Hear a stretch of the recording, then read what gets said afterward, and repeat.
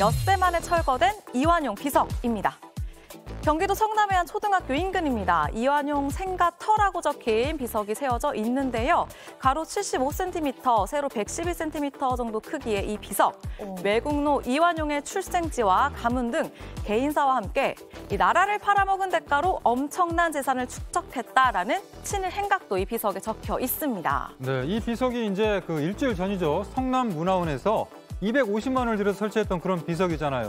뭐 후대에 좀 역사적 교훈을 전하기 위해서 세웠다. 이런 좀 어떻게 보면은 긍정적인 그런 걸로 세웠는데 또 논란이 좀 됐습니다. 네, 맞습니다. 인근 주민들을 중심으로 이완용 기념비와 다를 게 없다라는 비판이 이어졌던 건데요. 특히 앞서 말씀드렸던 것처럼 이 비석이 설치된 곳이 초등학교 인근이거든요. 근처에 유치원도 있었고요. 아이들이 많이 지나다니는 곳입니다. 아직 역사적 지식이 부족한 아이들이 행여나 이 비석을 보고 잘못된 인식을 하게 될까 걱정될 수도 있는 상황이었는데요. 성남 문화원 이 홈페이지에도 비판하는 글이 이어졌습니다. 결국 성남 문화원은 어제 이 비석을 철거했습니다.